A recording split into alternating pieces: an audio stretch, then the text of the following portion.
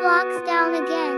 May 4th, 2022. There are very less players in every game because it's down and some players there are unable to log in in their account.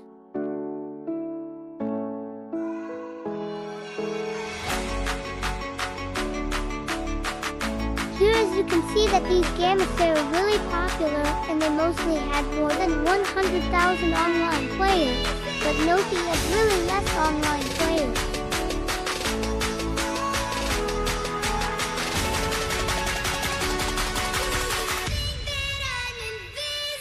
We are also unable to see how much Robux we have. Make sure to subscribe and turn on the bell icon because I'll keep you all informed about everything. Thank you for watching.